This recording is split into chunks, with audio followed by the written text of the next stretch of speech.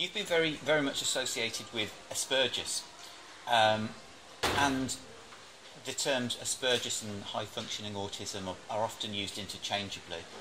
What's the difference between them? There's a very significant difference between high functioning autism and Asperger's syndrome. One difference, and that's it. They're spelt differently. So essentially, they're the same thing. Absolutely.